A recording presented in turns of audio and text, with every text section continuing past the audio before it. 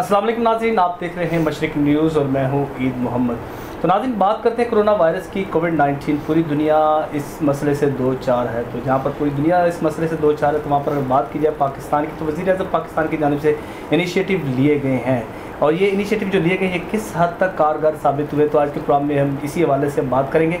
और सबसे पहले हम बात का आगाज़ करते हैं, प्रोग्राम का आगाज़ करते हैं महकमा सेहत पंजाब के हवाले से। महकमा सेहत पंजाब की कारकर्दगी क्या रही है और कैसी रही है? और जो सूबाई वज़ीर सेहत है, डॉक्टर यासमिन राशद मुतहरिक दिखाई देती हैं और किस हद तक मुतहरिक दिखाई देती है, सिर्फ़ वो फ़ोटो सेशन की हद तक की महदूद हैं। तो महकमा सेहत पंजाब के जितने भी, इसके प्रीमिस में जितने भी हॉस्पिटल्स आते हैं, वो तमाम तर जो फ्रंट लाइन सोल्जर्स जिनको कहा गया है, वो भी अपने तहफ़ात का इजहार करते हुए दिखाई देते हैं। तो ख़ासतौर पर कोरोना वायरस के हवाले से, कोरोना वायरस के जो पेशेंट्स है जो हॉस्पिटल में क्वारंटाइन सेंटर्स बनाए गए इसके अलावा लाहौर में एक्सपो सेंटर में भी क्वारंटाइन सेंटर बनाया गया एक हज़ार बेड पर मुश्तमिल है। तो वो किस हद तक कारगर साबित हुआ है? तो इसी पर ही हम बात करेंगे। आज के प्रोग्राम में हमने दावत दी है मकसूद खालिद साहब, सीनियर सहाफ़ी, ब्यूरो चीफ मशरक न्यूज़। आज उन्होंने भी हमें ज्वाइन किया। इसके साथ ही सीनियर सहाफ़ी और सीनियर एनालिस्ट और bureau chief Seven News, Faisal Khan Durrani भी हमारे साथ मौजूद हैं। फैसल खान दुरानी साहब, बहुत बहुत शुक्रिया। मकसूद खालिद साहब, आपका भी बहुत बहुत शुक्रिया कि आपने टाइम दिया। तो जिस तरह एक खौफ की फ़िज़ा है, पूरी दुनिया में खौफ की फ़िज़ा है, लेकिन अब बात करते हैं, पाकिस्तान की बात करते हैं। पाकिस्तान में जो महकमा सेहत, पंजाब और महकमा सेहत पाकिस्तान, इसकी कारकर्दगी कैसी है? सबसे पहले हम आगाज़ करते हैं मकसूद खालिद साहब से। मकसूद खालिद साहब आप बतौर एक हेल्थ प्रोफेशनल रिपोर्टर्स एसोसिएशन के जनरल सेक्रेटरी भी हैं। बतौर सहाफ़ी जो आप बारीक बीनी से आप देखते हैं महकमा सेहत पंजाब को, आप इसकी कारकर्दगी को, महकमा सेहत पंजाब की कारकर्दगी को किस तनाजुर में देखते हैं? उसके बाद फिर हम फैसल खमदुरानी साहब से, पाकिस्तान के हवाले से ओवरऑल इस पर हम डिस्कशन करेंगे। मकसूद खालिद साहब आपसे आगाज़ करते हैं, आप बताइएगा। जी, बहुत शुक्रिया हाजी मोहम्मद साहब मैं इस वक्त पंजाब भर की सूरत बताऊँगा। महकमा सेहत के हवाले से कि महकमा सेहत, कोरोना के हवाले से इस वक्त किस मुश्किल से दो चार हैं। आप, पंजाब भर की सूरत तो एक अलग इशू है। लाहौर की सूरत हाल ही देख लें कि लाहौर के टीचिंग और डिस्ट्रिक्ट हॉस्पिटलों की हालत इस वक्त इंतज़ार है। और इस सिलसिले में देखें, आपको यहाँ बताता चलूँ कि पंजाब ग्रैंड हेल्थ अलाइंस जो पिछले पंद्रह रोज़ से स्ट्राइक पे है और महकमा से स्पेशलाइज के अंदर उन्होंने धरना दिए बैठे हैं।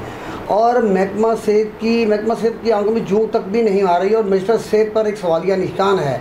मिनिस्टर सेहत की अदम दिलचस्पी के बायस महकमा सेहत इस वक्त हाईजैक हुआ हुआ है और पैरामेडिकल स्टाफ नर्सिस डॉग यंग डॉक्टर्स तमाम लोग वहाँ पर मौजूद हैं और उनका एक ही सवाल है मिनिस्टर सेहत से और हुकूमत पंजाब से भी और हुकूमत फेडरल गवर्नमेंट ऑफ़ पाकिस्तान से भी कि मिनिस्टर सेहत को फ़ौर तब्दील किया जाए।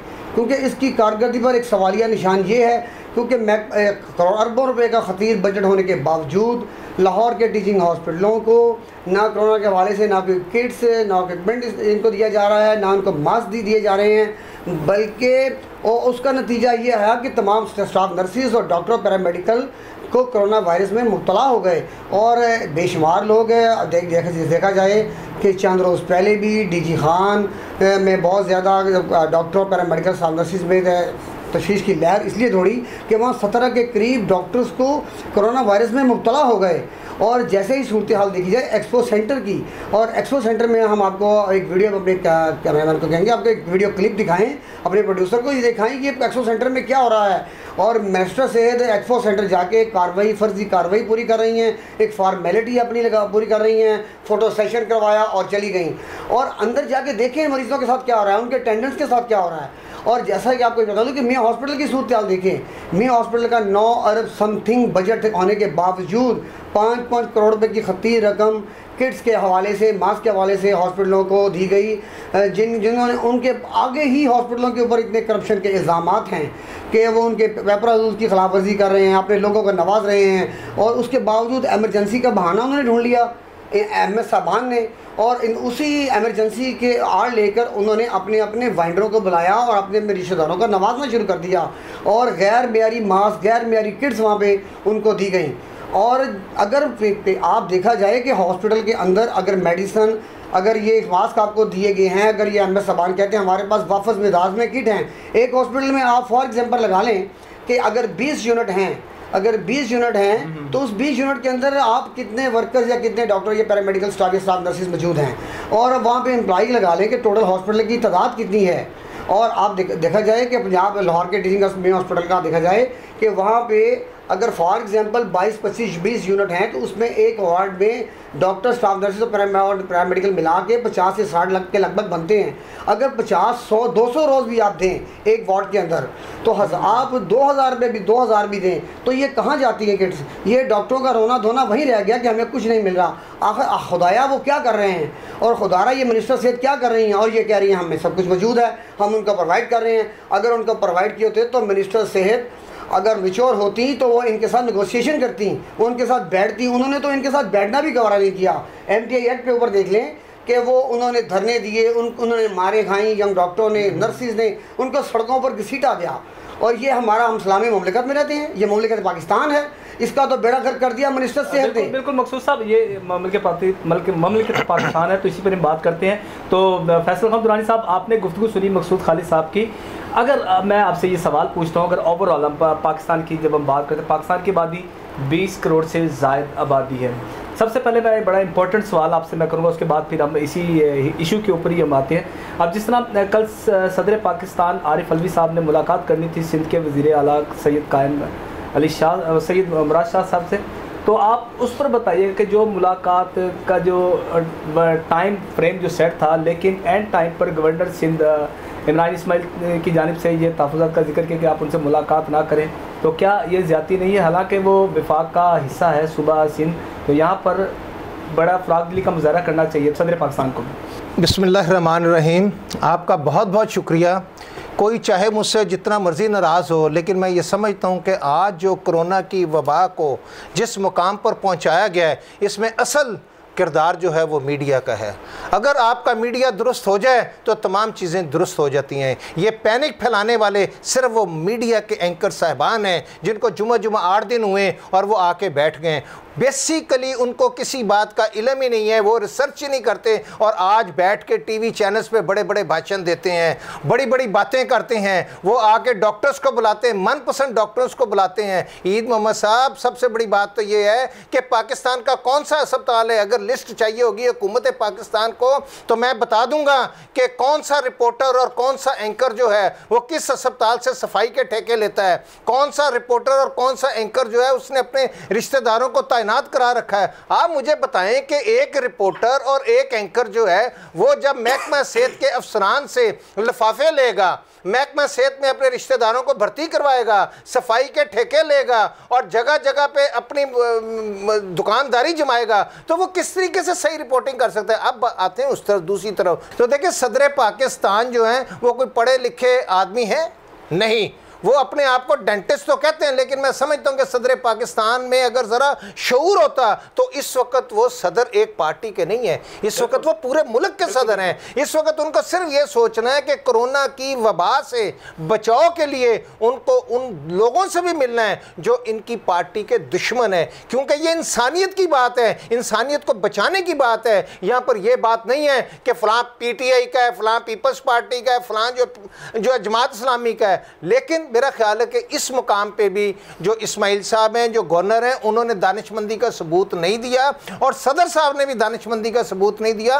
उनको चाहिए था कि दानिशमंदी का सबूत देते हुए वो ना सिर्फ़ मुराद अली शाह को मिलते, बल्कि दूसरी जमातों को भी मिलते और उनसे पूछते कि उनके मसाइल क्या हैं। लेकिन फिर मैं बात वही करूँगा कि इन चीज़ों को गलत रंग देने में सबसे बड़ा किरदार जो है वो मीडिया का है और आज कोई शख्स कहे ना कहे, आज मीडिया पे पाबंदियाँ लगनी चाहिए आज क्राइटेरिया जो है वो बाकायदा तौर पे तय होना चाहिए कि कौन शख्स जो है वो एंकर बनने के काबल है, कौन शख्स एंकर बनने के काबल नहीं है। यहाँ पर मैट्रिक पास, छापड़ी, फरोश, जो सड़कों में, गलियों में मोहल्लों में पकौड़े बेचते थे, आज वो एंकर बने हुए। तो मेरे भाई, सबसे बड़ी बात यह कि हमें मीडिया को दुरुस्त सिमत में चलाने के लिए उन लोगों को आगे लाना होगा जो कि शाइस्ता होंगे।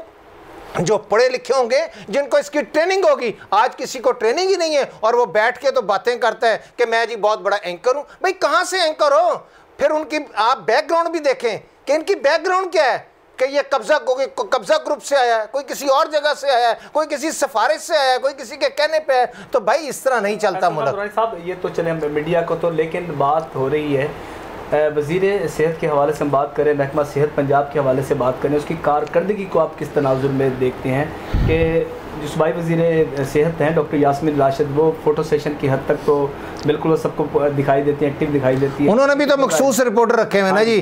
जो लफ... हवाले से हाँ जी। बताइएगा, आप देखिए जी सबसे बड़ी बात यह है कि यासमिन राशिद साहबा को जब से पंजाब में वज़ीर सेहत तैनात किया गया है उस वक़्त से महकमा सेहत की ड्यूटीरेशन हो रही है। और इतना डिके हो चुका है इस वक्त महकमा सेहत में कि महकमा सेहत में एक हॉस्पिटल में मेडिकल सुपरिटेंडेंट की तैनाती समेत वहाँ पर एक डिस्पेंसर की तैनाती हो, एक क्लर्क की तैनाती हो, वहाँ पर सिर्फ़ और सिर्फ़ पैसे चलते हैं। और कहा यह जाता है, इल्ज़ाम है I don't know about that कि वेदर इट इज़ करेक्ट और नॉट इसमें कहा यह जाता है कि यासमिन राशिद के कारिंदे जो हैं, वो फैले हुए तमाम अस्पतालों में। और वही लोग, इसकी सबसे बड़ी मिसाल मैं आपको मे हॉस्पिटल की देता हूँ कि इस वक्त पूरे पंजाब में एक वाहद हॉस्पिटल मे अस्पताल है, जिसके मेडिकल सुपरिटेंडेंट को दो दफ़ा तब्दील किया गया। उस पर ख़वातीन के इल्ज़ाम लगाए, ख़वातीन आई, रोई, पीटी, सड़कों पर आ गई। क्या वो हमारी बहनें, हमारी बेटियाँ, जो वो नहीं हैं उन्होंने बाहर आके तो अपने दुपट्टे फेंके और उन्होंने कहा खुदा के लिए हमारी यहाँ के मेडिकल सुपरिटेंडेंट खलील से हमारी जान छुड़ाई जाए। लेकिन इसलिए नहीं छुड़ाई गई कि उसके बारे में ये कहा जाता है कि वो हिस्सा बकदर जुस्सा जो है महकमा सेहत में पहुँचाते हैं। उनको दो दफ़ा तब्दील किया गया लेकिन उसके बाद फिर उनको वहाँ पर लगा दिया गया। साहब मैं आपकी तरफ़ आऊँगा इसी से हम बात करते हैं। एम एस जैसा ज़िक्र किया डॉक्टर ताहिर खलील साहब का इन्होंने ज़िक्र किया। आप तो बाकायदा तौर पर जानते हैं कि मेरे ख्याल से ये पंजाब की या पाकिस्तान की हिस्ट्री में पहली मरतबा हुआ कि वज़ी अला पंजाब के जो ऑर्डर्स हैं, वो रिवर्स हुए हो। ऐसा कभी हुआ है? ये बताइएगा जी, मैं यहाँ आपको बताता चलूँ कि मिनिस्टर सेहत के के ज़ाती तल्लक़ात होने की वजह से डॉक्टर तारफिल जो पी एम ए की एग्जेक्टिव बॉडी के मेंबर भी हैं। और मैडम यासमिन भी पी एम एग्जेक्टिव बॉडी की सीनियर मेंबर रही हैं और उनके साथ पस पर्दा पी एम ए के साथ बेशुमार मीटिंगें भी होती रहती हैं। ताहिर खलील के बारे में जब यंग नर्सिस ने मी हॉस्पिटल के अंदर धरने दिए और सेक्रेटरी सेहत के ऑफ़िस के अंदर साकिब सेक्रेटरी सेहत थे साकिब जफ़िर साहब, उनके ऑफ़िस के अंदर यंग नर्सिस ने धरना दिया और वहाँ पे उनको एक मरासला भी जारी किया और एक रिटर्न एप्लीकेशन भी उनको दी कि डॉक्टर तैर फील की नाजीबा गुफ्तु वार्ड में आके हमारे सर गंदी गाली गलोच हमें करते हैं और इसको फ़ौर तब्दील किया जाए। हैरस करते हैं। और उनको हरासा किया गया। और यहाँ तक भी एक, एक सीनियर हेड नर्स जो साउथ सर्जिकल मेरा ख्याल गालबन साउथ सर्जिकल में थी वो एक चंद चंद माह रह गए थे उनके रिटायरमेंट के ऊपर। उनके अंदर उनके ऑफ़िस में उनके ऑफ़िस के वार्ड में आकर तार खलील ने उनके साथ बहुत ज़्यादा सर्जिश की और वो इतना हैपर हो गए कि वो स्टार हेड नर्स थी और वो इतनी ब्रेन उनको ब्रेन हैमरेज हुआ। जिनसे हरासा करने की ब्रेन हैमरेज हो गया और वो कौमे में चली गई। इसके ऊपर भी बेशुमार हमारा मीडिया भी, मीडिया ने भी तनकीद की। लेकिन महकमा सेहत की, महकमा सेहत की खामोशी। मैं तो कहूँगा कि मिनिस्टर सेहत की टोटल खामोशी थी। मिनिस्टर सेहत तो गूँगी बहरी हो गई। उन्होंने तो बेड़ा गर्क कर दिया इस माशरे का, इस महकमा सेहत का तबाह तबाह बर्बाद कर दिया उन्होंने। और जैसे ही सबका जबकि मौजूदा सी एम स्वान बुजदार ने मियाँ हॉस्पिटल एक सरप्राइज़ विज़िट किया। उस, वहाँ पर लोगों ने मरीज़ों के मलवाकिन ने एम एस मियो डॉक्टर तैलखिल को तनकीद का निशाना बनाया और उनको वहाँ पे बताया सी एम साहब को कि जनाब हमारे साथ ये ज्यादती हो रही है, हमें यहाँ पे एक रुपये की मेडिसिन भी मैसर नहीं है। इवन कि एक सरिंज, हम फाइव सी सी की, वो भी बाहर से लेके आने आते हैं। हम मजबूर हो गए हैं और कंटीनों का ये आलम है कि वहाँ पे पंद्रह पंद्रह साल से एक एक ही बंदे को कंटिन्यू किया जा रहा है, जो डॉक्टर तार खलील का रिश्तेदार बताया जाता है। और मैं आपको सफ़ाई का ठेका? और सफ़ाई का ठेके जेनिटोरियल का ठेका देखें आप देखें सिक्योरिटी का ठेका कि तायर खलील ने अपने ही रिलेटिव को अपने ही अजीज़ों को नवाजना शुरू किया। और जैसे सीएम ने इस पर नोटिस लिया उसको मअतल किया और दूसरे दिन ही पीएम में तायर खलील की तायर खलील के साथ मैदान में आ गई और उन्होंने फ़ौर एक स्ट्राइक की बयान जारी किया कि जनाब प्रेस कॉन्फ्रेंस की डॉक्टर अशरफ नज़ामी ने पी एम ए की सरबराही में अपने मम्बरान की सरबराही कि तारीख को फ़ौर तब फ़ौर वापस लिया जाए। और सी एम के ऑर्डर ये हिस्ट्री का पहला वाक़ था कि सी एम ने सस्पेंड किया हो और इस वक्त पंजाब के तमाम तुम तीन चार senior professor साहबान V C King medical college professor खल Masood Gondal professor Asad Aslam C O Mayo hospital और दो, और और कुछ बेशुमार लोग पी एम ए के वो सी एम के साथ मुलाकात की मिनिस्टर सेवा सेक्रेटरी की सरबराही में, और उन्होंने उनसे रिक्वेस्ट की कि इसको बहाल किया जाए। और सी एम इस वक्त मजबूर हो गया कि उनके ऑर्डर विड्रा हो गए। और विड्रा के बाद देख लेंगे चंद दिन बाद। अभी चंद, दो कबल डॉक्टर अख्तर अख्तर के ऑर्डर हुए एम एस मियो के और पीएमए पूरी हरकत में आ गई। उन्होंने डॉक्टर अख्तर को वहाँ पे ज्वाइन करने नहीं दिया। और बेशुमार जब सेक्रेटरी सेहत के नोटिस में आया सेक्रेटरी सेहत ने भी हमारे जराए ने कहा कि सेक्रेटरी सेहत ने भी हाथ खड़े कर दिए। क्योंकि उसमें बर रास्त मिनिस्टर सेहत की इन्वॉल्वमेंट थी। अगर मिनिस्टर सेहत की इन्वॉल्वमेंट नहीं एक करोड़ रुपए का जी बताया गया एक करोड़ रुपया दिया गया है। मैं आपसे इस बात से इतफाक करता हूँ कि मिनिस्टर सेहत ने वहाँ पे आप देख लें कुर्बान नामी शख्स जो ग्रेड सेवन सेवन का है उसको अपनी कैशियर लगाया हुआ है। और हमारे जराए ने यह बताया कि दो परसेंट कैशियर हमेशा अपने कंपनियों के साथ बिलों, बिल की लेने के लिए कमीशन वसूल करता है। लेकिन ये बहुत कुर्बान नामी कैशियर है। मे हॉस्पिटल की तारीख में जब से वो बना है, वजूद में आया है कि वहाँ दस परसेंट कैशियर वसूल कर रहा है कमीशन किसके? वहाँ पर एम एस को बेशुमार उसकी करप्शन के सबूत सामने आए। और इस तरह मैं आपको बताता चलूँ कि वहाँ पे एक एक मसालची तनवीर भट्टी, मसालची जो दर्जा चौहारम का आदमी, मुलाजम है, वो एम एस का दस्ते रास है।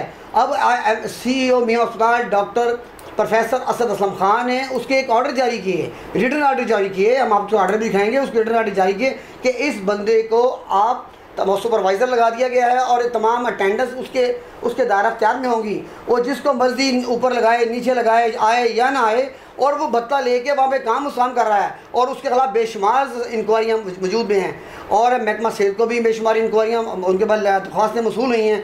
लेकिन महकमा से टोटल खामोश तमाशाई बन के देख very sad and very bad यहाँ पर मैं आऊँगा फैसल खान दुरानी साहब आपकी तरफ़ जिस तरह भी फैसल मकसूद खालिद साहब ने ज़िक्र किया कि तारीख में पहली दफ़ा ऐसा हुआ है कि जो सीएम के ऑर्डर्स हैं वो रिवर्स हुए हैं। इसमें आप किसकी नाकामी समझते हैं? वज़ी अला पंजाब की नाकामी समझते हैं? या कि इसमें डॉक्टर यासमिन राशिद की कामयाबी, इसमें पावरफुल दोनों में कौन हुआ, आपकी नज़र में? देखिए सर, बात यह है कि यासमीन राशिद जो कि अपने हलके से भी नहीं जीत सकें, उनको बुरी तरह जो है, बुरी तरह मुस्तरद कर दिया उनके इलाके के लोगों ने।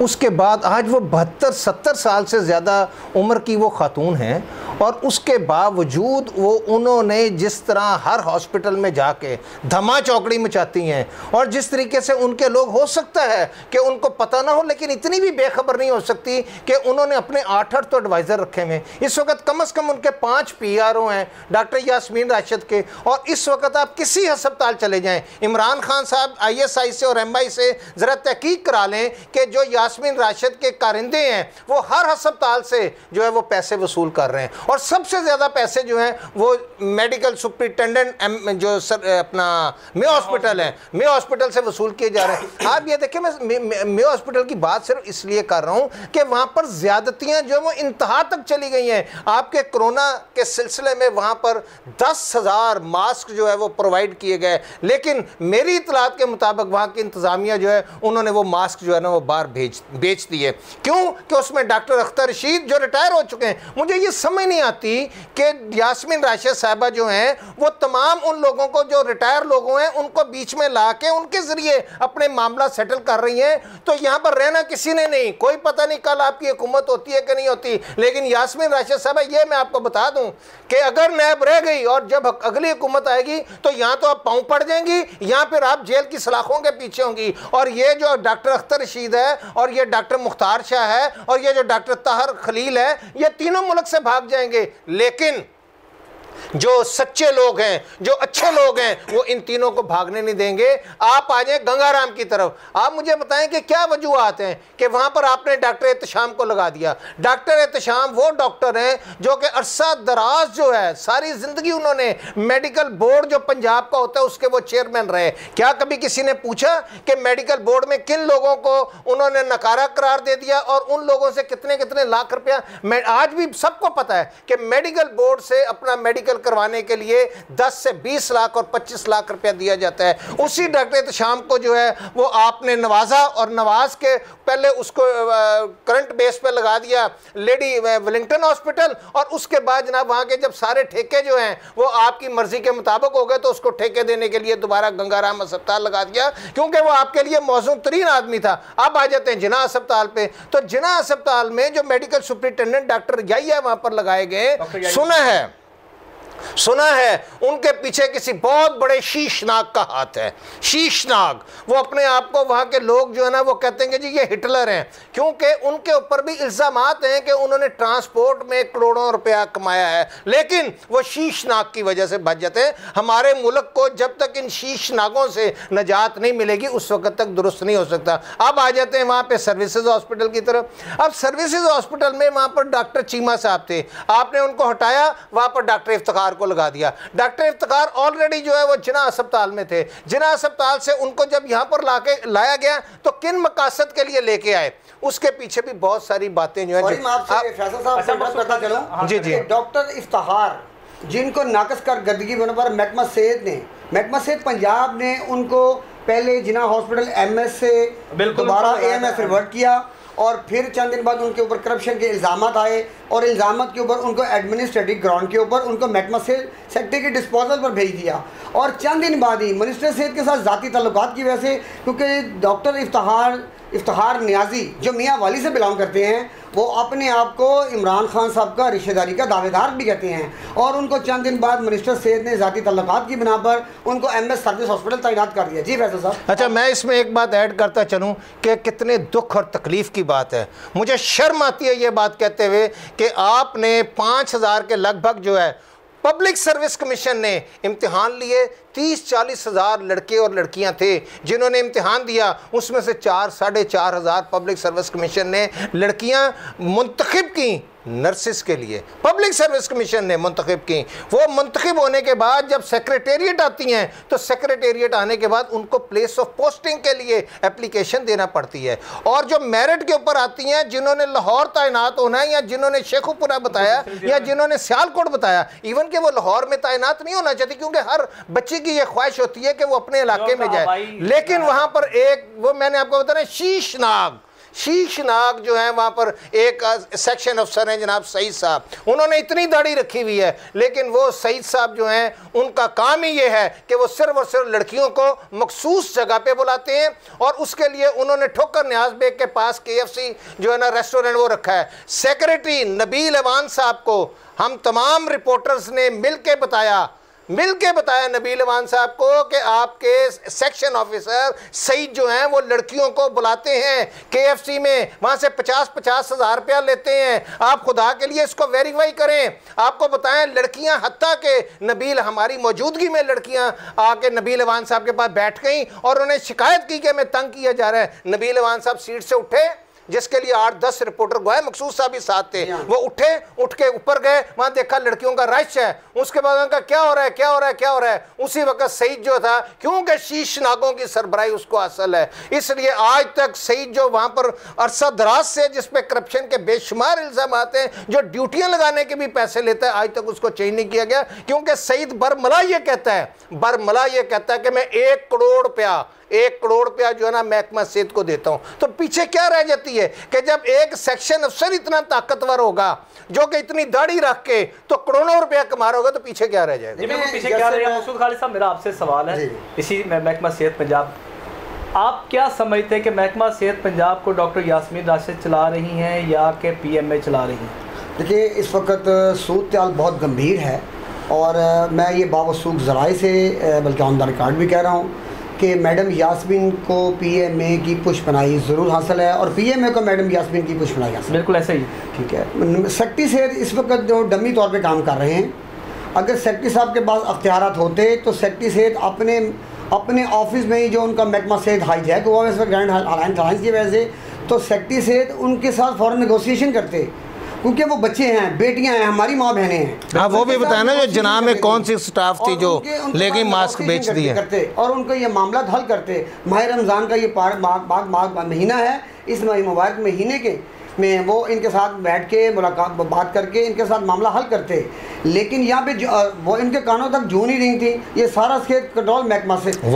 मेरे हमारे बावजूद ने ये भी बताया कि कुछ महकमा सेहत की आला शख्सियात ने और कुछ वी सी साहबान ने भी मिनिस्टर सेहत को मिल के ये बात कही कि grand L L health alliance के साथ बैठ के मशावरत की जाए ताकि ये मामला खुश असलूबी से हल किया जाए। लेकिन मिनिस्टर सेहत अपनी हट दर्मी की वजह से उन्होंने टोटल इसको इनकार कर दिया। और जैसे फैसला ने बात की एस ओ सईद की बात और मैं आपको यहाँ बताता चलूँ कि एक महकमा स्पेशलाइज हेल्थ केयर में एस ओ जो फार्मासिस्ट हैं फार्मासिस्ट की पंजाब भर में हॉस्पिटल में किल्लत है। वो अरसा चार पाँच साल से महकमा सेहत में तैनात हैं। और आमना आमना के ऊपर बेशुमार करप्शन आमना हफीज़। भी हैं आमना हफीज़ के ऊपर बेशुमार करप्शन के इल्ज़ाम भी हैं। हमने ये बात अपनी एसोसिएशन के के तोसत से हमने सेक्रेटरी सेहत को भी मामला याद करवाया ये बात बार बार करवाई कि फार्मासिस्ट की हॉस्पिटल में शार्टेज है तो खुदारा हॉस्पिटल की जो शार्टेज है फार्मासिस्ट को फिल की जाए। लेकिन सेक्रेटरी सेहत भी खामोश तमाशे बन के इधर की बात उधर। शीश नागों की सरबराई उनके उनके पीछे एक अजहा बैठे हुए हैं जो अजहा के खौफ से सेक्रेटरी सेहत खामोश तमाशा ही बन गए। ये तो जी सेक्शन अफसर दोनों कहते तो- हैं कि हम सेक्रेटरी चेंज करवा देंगे। मैं आपको यहाँ पर एक बात ज़रूरी बात करना चाह रहा हूँ। फैसला ने बात की थी डॉक्टर याया की। डॉक्टर याया जो पाँच साल पाँच साल एक्टिंग एमएस के तौर पर काम पाँच साल उन्होंने काम किया। मुफ़्त जो एमएस तब्दील होते हैं डॉक्टर याया तैनात हो जाते हैं। जैसे कि एमएस ग्रेड ट्वेंटी का तैनात चेंज होता है नाइनटीन का ग्रेड एमएस का ग्रेड नाइनटीन का डॉक्टर याया तैनात हो जाता है। डॉक्टर याया जिसको ट्रांसपोर्ट के बगैर वो रह ही नहीं सकते। ट्रांसपोर्ट के बगैर वो बिल्कुल नहीं रह सकते। ट्रांसपोर्ट उनका जैसे जैसे उनको ट्रांसपोर्ट का महकमा उनसे छिया जाता है काफ़ी चार्ज दिया उनको छीना जाता है। डॉक्टर या हॉस्पिटल के अंदर अपने एम एस साहबान अपने प्रिंसिपल के बारे में गैर खलाकी गुफ्तु करना शुरू कर देते हैं। वो करप्ट है ये करप्ट है। और जैसे ही सबका एम एस डॉक्टर इफ्तार ने एक इंक्वायरी एक इंक्वायरी जेट की और उसमें उन्होंने 85 लाख की करप्शन हाँ, साढ़े आठ मिलियन, साढ़े आठ मिलियन। मिलियन की करप्शन सामने आई। और जैसे ही वो करप्शन सामने आई डॉक्टर याया को एमएस डॉक्टर साहब का एमएस डॉक्टर इफ्तार ने फ़ौरन डॉक्टर याया को तब्दील कर दिया और उनसे ट्रांसपोर्ट का ट्रांसपोर्ट का चार्ज वापस ले लिया। और जब और जब इंक्वायरी आखिरी मराहल में थी और महकमा सेद ने डॉक्टर इफ्तार को वहाँ से तब्दील कर दिया। और क्योंकि उसके पीछे बेशुमार अजदहा बैठे हुए हैं, जैसे फैसल ने कहा शीशनाग। मैं तो कहूँगा इसके पीछे बहुत बड़े अजदहा हैं। इन करप्शन के मामलों के ऊपर बेशुमार मामला हैं जो मैं खुद कहता हूँ कि हुकूमत को चाहिए कि वहाँ पे देख लें यंग नर्सिस देख लें वाई देख लें पैरामेडिकल देख लें वहाँ पे डॉक्टर याया ने चंद दिन पहले पंद्रह डिस्पेंसरों को स्टोर कीपर तैनात किया जिनके ऊपर 2011 से लेकर अब तक बेशुमार इंक्वायरियाँ पेंडिंग पड़ी हैं जिनमें वो गिल्टी साबित हुए हैं जिनमें जावेद सरवर तालिब अक्रम जावेद मसीह अजहर मसीह जिनको करप्शन में मुअतल किया हुआ है उन मुअतल करने के बावजूद भी उन, उनके करप्शन साबित हो गई। उस अजहर मसीह को दिन पहले डॉक्टर याहिया ने उसको स्टोर कीपर तैनात कर दिया। जी, मकसूद खालिद साहब, बड़ी अच्छी बात जो आपने कही, ये नेक्स्ट प्रोग्राम में जब हम प्रोग्राम करेंगे तो उसमें ख़ास तौर पर हम ज़िक्र करेंगे इसी तरह वन बाई वन हॉस्पिटल का। तो अगले प्रोग्राम में हम कोशिश करें कि हम जिना हॉस्पिटल को ही हम डिस्कस करूँ, पूरी डिटेल से डिस्कशन करें, क्योंकि ये बड़ा अहम पहलू जिस तरह अभी आपने ज़िक्र किया करप्शन के हवाले से। पंद्रह डिस्पेंसर्स को स्टोर कीपर लगा दिया गया सुपरवाइज़र लगा दिया गया तो ये इंतहा है करप्शन की। तो ये करप्शन तो ज़ाहरी बात इस सोर्स ऑफ़ इनकम बढ़ाने के लिए ये एक बड़ा ही एक, क्या उसको कहते हैं, बड़ा ही एक चीप जो है कि बड़ा एक आसान हथियार ये। तो फैसल खान दुरानी साहब, आप अपनी बात को किस तरीके से एक दो मिनट में समराइज़ करते हैं कोरोना वायरस के किट्स के हवाले से किट्स के हवाले से? देखिए जी, बात यह है कि जब तक जब तक कोई ऐसा नेक आदमी, कोई एक नेक आदमी इमरान खान को ढूंढना होगा और वो डॉक्टरों से ना हो वो डीएमजी अफसरान में से हो। इनके ऊपर ऐसा डीएमजी अफसर तैनात किया जाए जो बाकायदा कंप्यूटराइज जो है वो चीज़ें देखे। देखिए आपके पास बहुत अच्छे अच्छे अफसर हैं। आपके इस वक्त महकमा सेहत में बहुत अच्छे- अफसर हैं। आपके जनाब अली आसफ तुफैल साहब जो हैं वो बहुत अच्छे अफसर हैं। आपके नादर चट्ठा साहब जो हैं नादर चट्ठा साहब बहुत डेडिकेटेड अफसर हैं। आसफ तुफैल डेडिकेटेड अफसर हैं। आपके गाजी साहब जो हैं क्या गाजी साहब का आमर गाजी साहब जो हैं बड़े डेडिकेटेड अफसर हैं। आप इन अफसरान में से आप किसी एक अफसर को तैनात करें, जो कि बाकायदा तौर पर इन मेडिकल सुप्रिटेंडेंट्स को जो चीज़ें प्रोवाइड की गई हैं, उसका हिसाब ले कि आप ये बताएँ कि किस बंदे को, फलां को ये फलां मास्क, फलां पीपी किट्स जो है दी गई है, उसकी डिस्पोजल उसको जो दी गई उसके दस्खत उसका शनाख्ती कार्ड नंबर ताकि पता चल सके कि मेडिकल सुप्रिटेंडेंट साहब ने वो चीज़ें बाहर तो नहीं भेज दी। आपके पास ये चार पाँच अफसर जो जिनके मैंने नाम लिए हैं, ये बहुत ही डेडिकेटेड ऑनेस्ट और प्रोफेशनल लोग हैं। ये डीएमजी वो अफसरान हैं जो कि महकमा सेहत को दुरुस्त कर सकते हैं, लेकिन इनसे काम नहीं लिया जा रहा। आपने जनाब नबील अवान साहब तो आते ही नहीं है। सबसे बड़ी बात यह क्योंकि शायद वो कोई वजूहत हैं जिसकी वजह से वो नहीं आ रहा और उनका वैसे भी कहना है कि मुझे किसी नहीं, उनका ये कहना है कि मुझे जहाँ भी लगाया जाता है, वो मैं पाँच छः महीने के लिए लगता हूँ। इससे पहले वो सेक्ट्री एक्साइज लगे थे तो वहाँ पर भी उनका अरसा। हाँ यहाँ तो ये कि नबील अवान साहब को कह दिया जाए कि आप तीन साल यहाँ पर रहेंगे और आपने तीन साल महकमा सेहत की हालत को बदलना है। तब तो ठीक है। अदरवाइज़ भाई, मैं ये कहता हूँ ख़ास तौर पर हुकूमत को, बुजदार साहब को, कि ये नादर चट्टा साहब को लगा दें। आप मसूद मुख्तार साहब को लगा दें। मसूद मुख्तार साहब इससे पहले भी हेल्थ में रह चुके हैं। आप उनको वहाँ पर लगा दें। बेशुमार ऐसे अफसर हैं जो कि ऑनेस्ट अफसर हैं, उनको लगाएँ। और फिर यासमिन राशिद के पास कोई कंट्रोल नहीं होना चाहिए। मिनिस्टर का क्या काम है कि वो अपनी मर्ज़ी से जो है, वो एक रिटायर्ड लोगों को मुख्तार शाह, उसे खुद ही रिट करवा देती हैं गवर्नमेंट के खिलाफ। एक वो अख्तर रशीद उसके ज़रिए या ताहर खलील के ज़रिए। ये एक टोला है। ये एक पाँच का गैंग है। और ये गैंग जो है ना ये गैंग महकमा सेहत को तबाह कर रहा है। गैंग है जो 12 करोड़ आवाम पर भारी और 12 करोड़ आवाम पर हुक्मरानी कर रहा है। जी मकसूद खाली साहब आप अपनी बात को किस तरीके से समराइज़ करेंगे एक से दो मिनट में? जी मैं आपको यही कहूँगा कि जो सिलेक्टेड अलेक्टेड और सिलेक्टेड का फ़र्क अगर पीएम को समझ आ गई तो सूरत सारी वाजह हो जाएगी कि जो सिलेक्टेड लोग हैं अगर वही मिनिस्टर सेहत का जिन्होंने चार्ज संभाला हुआ है, उनसे अगर बस में बात बस के बाद नहीं है तो उनको फ़ौर तब्दील कर देना चाहिए। तब्दीली सरकार का नारा आपने इसलिए लगाया था कि करप्ट लोग जिनके ऊपर माली मामला के ऊपर इल्ज़ाम हैं, जिनकी नाकस कर गर्दगी है, उन पर एक सवालिया निशान है। तो मिनिस्टर सेहत को आखिर क्या वजह है कि जिनके ऊपर बेशुमार इल्ज़ाम होने के बावजूद, जिनके पी आर होते हैं, जिनके एस ओ पी एस होते हैं जिनके एडवाइज़र डॉक्टर जावेद जो एक बगैर रिटर्न आर्डरों के उनके एडवाइज़र हैं जो मुख्तलि हॉस्पिटल में जाते हैं आम लोगों को आम जर्नलिस्टों को आम लो, आम आम दी आदमी को डॉक्टर्स को पैरामेडिकल स्टाफ नर्सिस को कुछ नहीं मिलता किट नहीं मिलती। तो डॉक्टर जावेद जो पी प्रोफेसर डॉक्टर जावेद जो एजुकेशन डिपार्टमेंट के हुए हैं वो उनको कैसे किट्स मुहैया हो जाती हैं? हम्म। और तमाम प्रिंसिपल सामान उनको प्रोटोकॉल में उनके प्रोटोकॉल में रहते हैं। और मैं तो कहता हूँ इस वक्त ये महकमा सेहत का कलमबान मैं कहता हूँ ये फौज को देना चाहिए जो इसको ऑडिट करे और इनका स्पेशल ऑडिट करे।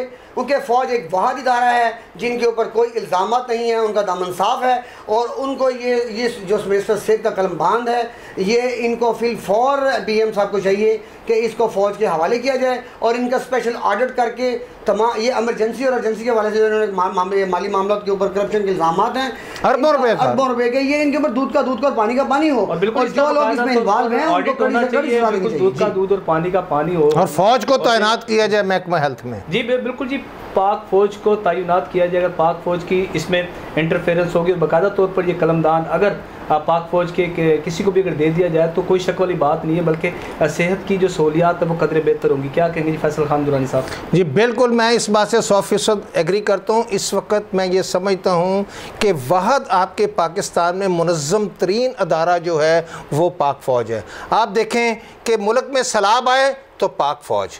मुल्क में जलजिला आए तो पाक फौज। अल्लाह ना करे किसी किस्म की आफत और मुश्किल आए तो नागहानी आफत तो पाक फौज। आज भी कोरोना में जो किरदार पाक फौज अदा कर रही है वो किरदार ना कोई ब्यूरोक्रेट अदा कर सकता है ना ही कोई प्रोफेशनल सिविलियन अदारा कर सकता है। इसलिए मैं सल्यूट करता हूँ। पाक फौज को और ख़ास तौर पर जिस तरीके से मेजर जनरल साहब जो है वो काम कर रहे हैं और उन्होंने जिस तरह ये तमाम का तमाम चाइना के साथ बात करके पी पी किट्स मंगवाई हैं हैं और उसमें तमाम तर जो किरदार है वो सिर्फ़ और सिर्फ़ कोई सिविलियन हुकूमत का नहीं है, ये सब क्रेडिट जो है वो पाक फौज को जाता है, क्योंकि आपके सिविलियन जो हैं, आपके जो सियासतदान हैं ख़ास तौर पर वज़ीर सेहत दोनों वो जफ़र मिर्ज़ा साहब भी जिनके ऊपर बेशुमार वो फिर मैं आपको बताऊँगा कि जफ़र मिर्ज़ा साहब ने क्या गोल खिलाए और किस तरह वफाकी हुकूमत में उन्होंने जफ़र मिर्ज़ा ने अरबों रुपया कमाया ये भी मैं आपको बताऊँगा कि वहाँ पर उन्होंने क्या कुछ किया और क्या कुछ कर रहे हैं। और कोरोना की आड़ में लोग जो कखपति थे वो आज अरबपति हो गए। जी बिल्कुल जी आज वो अरबपति हो चुके हैं। तो आज के प्रोग्राम में हमने कोरोना वायरस के हवाले से बात की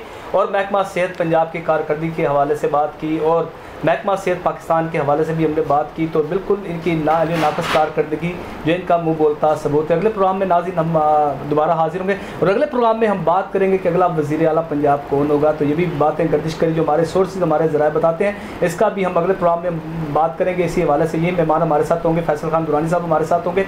मकसूद खालिद साहब हमारे साथ होंगे। फिर हम बताएँगे कि क्या हलचल होने जा रही है सियासत के मैदान में, पंजाब की सतह पर और बिल्कुल इसके विफाक की सतह पर क्या सियासी हलचल होने जा रही है, ये सिर्फ़ हम मशरक न्यूज़ में ही, हम आपके साथ शेयर करेंगे, हम आपको बताएँगे कि वज़ी अला पंजाब कौन होगा। बिल्कुल ऐसा ही होगा और ये बड़ी तब्दीली का इम्कान है, बड़ी तब्दीली होने वाली है। तो आज के प्रोग्राम में नाजिन इतना ही, इसके साथ ही मुझे और मेरी कैमरा मैन टीम को इजाज़त दीजिए। अल्लाह हाफिज़।